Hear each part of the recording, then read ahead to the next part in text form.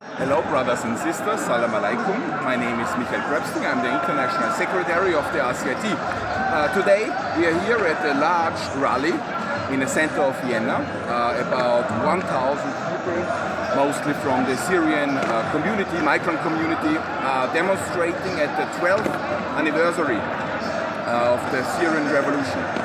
In March 2011, the Syrian workers, young people, popular masses, they uh, entered the streets, uh, they protested against the, the Assad regime and uh, the Assad regime responded with a, a huge terror campaign. Uh, since then, hundreds of thousands of Syrian people have been murdered by Assad.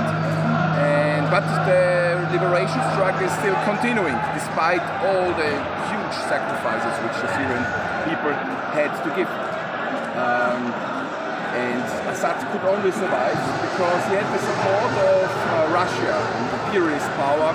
Putin sent uh, troops and air force which helped Assad to kill uh, many uh, fighters, civilian people, etc., etc. Still, the rebels are holding out in Idlib, in the northwest uh, of Syria, uh, and the revolution is not being defeated.